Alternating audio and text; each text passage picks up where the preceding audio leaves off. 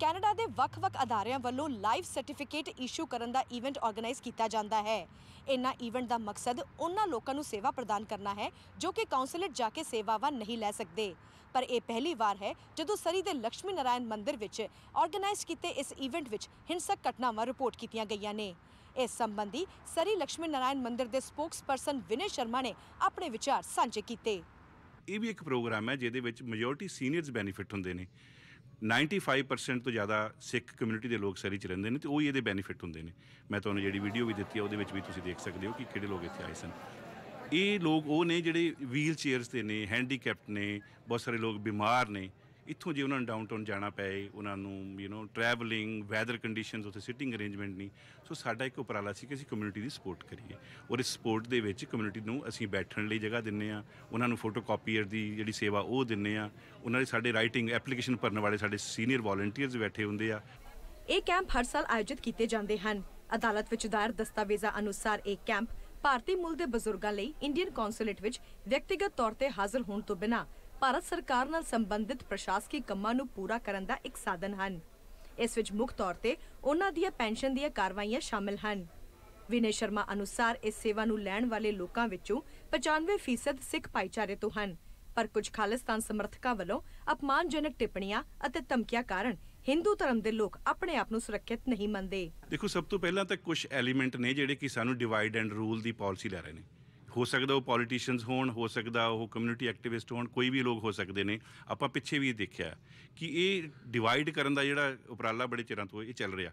ਸੋ ਉਹਦੇ ਉਹਦੇ ਤਹਿਤ ਹੀ ਪਹਿਲਾਂ ਤਾਂ ਕਿ ਇਹ ਹੋ ਨਾ ਸਕਣ, ਜਿਹੜਾ ਖਾਲਿਸਤਾਨੀ ਐਲੀਮੈਂਟ ਹੈ, ਉਹਨਾਂ ਨੇ ਆ ਕੇ ਪ੍ਰੋਟੈਸਟ ਸ਼ੁਰੂ ਕਰ ਦਿੱਤਾ ਕਿ ਅੰਦਰ ਨਾ ਲੋਕ ਜਾਣ। ਉਹਨਾਂ ਨੂੰ ਉਹ ਗਾਲਾਂ ਕੱਢਦੇ ਨੇ, ਉਹਨਾਂ ਨੂੰ ਉਹ ਡਿਸਕਰੇਜ ਕਰਦੇ ਨੇ, ਉਹਨਾਂ ਦੇ ਖਿਲਾਫ ਬੋਲਦੇ ਨੇ। ਫਿਰ ਜੇ ਉਹਨਾਂ ਰੋਕਿਆ ਜਾਂਦਾ ਤੇ ਲੋਕਲ ਸਾਡੀਆਂ ਅਥਾਰਟੀਆਂ 올 the way from prime minister ਤੋਂ ਲੈ ਕੇ ਸਾਡੀਆਂ ਮਿਊਨਿਸਪਲ ਸਾਡੇ ਐਮਐਲਏਸ ਦੇ do not have anything to stop them from doing that. So ਅਸੀਂ ਇਹ ਅਨਫੋਰਚੂਨੇਟ ਹੈ and we are so discourage and we are so distressed in this country Hindu ਆਪਣੇ ਆਪ ਨੂੰ ਸੇਫ ਹੁਣ ਫੀਲ ਨਹੀਂ ਕਰ ਰਿਹਾ ਕੈਨੇਡਾ ਦੇ ਵਿੱਚ। ਬੀਤੇ ਕੱਲ ਦੋ ਗਰੁੱਪਾਂ ਦੇ ਆਮੋ ਸਾਹਮਣੇ ਹੋਣ ਸਮੇਂ ਪੁਲਿਸ ਦੀ ਕਾਰਵਾਈ ਦੌਰਾਨ ਤਿੰਨ ਵਿਅਕਤੀਆਂ ਨੂੰ ਗ੍ਰਿਫਤਾਰ ਕੀਤਾ ਗਿਆ। ਪੁਲਿਸ ਦੀ ਕਾਰਵਾਈ ਅਤੇ ਸਿਆਸਤਦਾਨਾਂ ਦੇ ਰਵੱਈਏ ਪ੍ਰਤੀ ਨਿਰਾਸ਼ਾ ਪ੍ਰਗਟਾਉਂਦਿਆਂ ਵਿਨੇ ਸ਼ਰਮਾ ਨੇ ਆਖਿਆ ਕਿ ਜੇਕਰ ਇਸ ਮਸਲੇ ਨੂੰ ਸੁਲਝਾਇਆ ਨਹੀਂ ਗਿਆ, ਤਾਂ ਕੈਨੇਡਾ ਵਿੱਚ ਰਹਿੰਦੇ ਵੱਖ-ਵੱਖ ਧਰਮਾਂ ਦੇ ਲੋਕਾਂ ਵਿੱਚ ਮਤਭੇਦ ਹੋ ਸਕਦਾ ਹੈ। ਅਸੀਂ ਬਿਲਕੁਲ ਵੀ ਸੈਟੀਸਫਾਈ ਨਹੀਂ ਹੈਗੇ ਪੁਲਿਸ ਦੀ ਕਾਰਵਾਈ ਤੇ। ਜਿੱਥੇ ਕੋਈ ਪ੍ਰੋਟੈਸਟ ਕਰਨਾ ਹੈ, ਉਹਨਾਂ ਨੂੰ ਰੋਕਣ ਦੀ ਬਜਾਏ ਜਿਹੜੇ ਮੰਦਿਰ ਦੇ ਡਿਵੋਟੀਜ਼ ਇੱਥੇ ਮੱਥਾ ਟੇਕਣ ਆਏ ਸਨ, ਮੰਦਿਰ ਦੇ ਗੇਟ ਬੰਦ ਕਰ ਦਿੱਤੇ ਗਏ। ਪੁਲਿਸ ਨੇ ਦੋ ਲਾਈਨਾਂ ਬਣਾ ਕੇ ਇਨ ਐਂਡ ਆਊਟ ਬੰਦ ਕਰ ਦਿੱਤਾ ਗਿਆ। ਔਰ ਜਿਹੜੇ ਆਪਣੇ ਆਪ ਨੂੰ ਡਿਫੈਂਡ ਕਰਨ ਦੀ ਕੋਸ਼ਿਸ਼ ਕਰ ਰਹੇ ਸੀ, ਉਹਨਾਂ ਨੂੰ ਅਰੈਸਟ ਕਰਿਆ ਗਿਆ। So we are not satisfy approach ਜਿਹੜੀ ਪੁਲਿਸ ਦੀ ਆ, ਸਾਡੇ ਮੇਅਰ ਦੀ ਜਿਹੜੀ ਅਪਰੋਚ ਹੈ ਸਾਡੇ ਐਮਐਲਏਜ਼ ਐਮਪੀ ਸਾਡੇ ਪ੍ਰਾਈਮ ਮਿਨਿਸਟਰ ਦੀ ਅਪਰੋਚ ਹੈ ਟੋਟਲੀ ਰੋਂਗ ਹੈ ਜੇ ਇਸ ਦੇਸ਼ ਨੂੰ ਇੱਕ ਖੁਸ਼ਹਾਲ ਦੇਸ਼ ਬਣਾਉਣਾ, ਇੱਥੇ ਜਿੰਨੀ ਜਲਦੀ ਕੰਮ ਕੀਤਾ ਜਾਵੇ, ਇਹਨੂੰ ਕਰੈਕਟ ਕੀਤਾ ਜਾਵੇ, ਇਸ ਦੇਸ਼ ਦੇ ਵਿੱਚ ਹਾਰਮਨੀ ਜਿਹੜੀ ਆ, ਉਹਨੂੰ ਬਰਕਰਾਰ ਰੱਖਣੀ ਚਾਹੀਦੀ ਆ ਔਰ ਸਪੈਸ਼ਲੀ ਜਿਹੜੀ ਹਿੰਦੂ ਔਰ ਸਿੱਖ ਕਮਿਊਨਿਟੀ ਆ, ਉਹਨਾਂ ਦੀ ਜਿਹੜੀ ਹਾਰਮਨੀ ਬੜੀ ਜ਼ਰੂਰੀ ਆ। ਇਸ ਮਾਮਲੇ ਸੰਬੰਧੀ ਸਰੀ ਆਰਸੀਐਮਪੀ ਵੱਲੋਂ ਜਾਰੀ ਬਿਆਨ ਮੁਤਾਬਿਕ ਐਤਵਾਰ ਦੁਪਹਿਰ ਨੂੰ ਅਧਿਕਾਰੀ ਪਹਿਲਾਂ ਹੀ ਮੰਦਿਰ ਵਿੱਚ ਮੌਜੂਦ ਸਨ, ਜਦੋਂ ਵਿਰੋਧੀ ਵਿਚਾਰਾਂ ਵਾਲੇ ਸੈਂਕੜੇ ਪ੍ਰਦਰਸ਼ਨਕਾਰੀ ਪਹੁੰਚੇ ਅਤੇ ਪ੍ਰਦਰਸ਼ਨ ਕਰਨਾ ਸ਼ੁਰੂ ਕਰ ਦਿੱਤਾ। ਇੱਕ ਸਮੂਹ ਨੂੰ ਖਾਲਿਸਤਾਨ ਲਹਿਰ ਨਾਲ ਜੁੜੇ ਝੰਡੇ ਲਹਿਰਾਉਂਦੇ ਹੋਏ ਦੇਖਿਆ ਗਿਆ। ਜਦੋਂ ਕਿ ਦੂਜੇ ਸਮੂਹ ਨੇ ਸੜਕ ਦੇ ਪਾਰ ਵਿਰੋਧ ਪ੍ਰਦਰਸ਼ਨ ਕੀਤਾ। ਪਰ ਗਰੁੱਪ ਵਿਚਕਾਰ ਤਲਖੀ ਫੈਲ ਗਈ, ਜਿਸ ਦੇ ਨਤੀਜੇ ਵਜੋਂ ਤਿੰਨ ਗ੍ਰਿਫਤਾਰੀਆਂ ਹੋਈਆਂ। ਕਮਿਊਨਿਟੀ ਵਿੱਚ ਅਸ਼ਾਂਤੀ ਬਾਰੇ ਚੱਲ ਰਹੀਆਂ ਚਿੰਤਾਵਾਂ ਨੂੰ ਦੂਰ ਕਰਨ ਲਈ ਅਸਿਸਟੈਂਟ ਕਮਿਸ਼ਨਰ ਬ੍ਰਾਇਨ ਐਡਵਰਡਸ ਸਥਾਨਕ ਮੰਦਿਰ ਦੇ ਆਗੂਆਂ ਨਾਲ ਗੱਲਬਾਤ ਕਰ ਰਹੇ ਹਨ। ਜ਼ਿਕਰਯੋਗ ਹੈ ਕਿ ਵੈਨਕੂਵਰ ਦੇ ਖਾਲਸਾ ਦੀਵਾਨ ਸੁਸਾਇਟੀ ਗੁਰਦੁਆਰੇ ਵਿੱਚ ਭਾਰਤੀ ਕੌਂਸਲਰ ਕੈਂਪਾਂ ਦੌਰਾਨ ਸੰਭਾਵਿਤ ਪ੍ਰਦਰਸ਼ਨ ਰੋਕਣ ਲਈ ਪਹਿਲਾਂ ਹੀ ਬਫਰ ਜ਼ੋਨ ਸਥਾਪਿਤ ਕਰਨ ਲਈ ਅਦਾਲਤ ਤੋਂ ਮਨਜ਼ੂਰੀ ਲਈ ਗਈ ਸੀ।